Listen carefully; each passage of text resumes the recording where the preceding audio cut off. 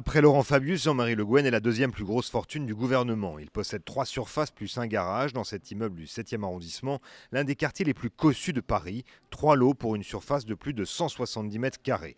À Paris, le secrétaire d'État chargé des relations avec le Parlement est aussi propriétaire d'un appartement de 52 mètres carrés dans le 15e et d'une permanence parlementaire dans le 13e arrondissement. En région, Jean-Marie Le Guen possède une maison à Biarritz, une donation, dit-il, ainsi que deux terrains dans les Landes comportant des constructions. L'ensemble de ce patrimoine, Jean-Marie Le Guen l'a d'abord estimé 2 millions d'euros, mais le chiffre a fait sursauter la haute autorité pour la transparence de la vie publique.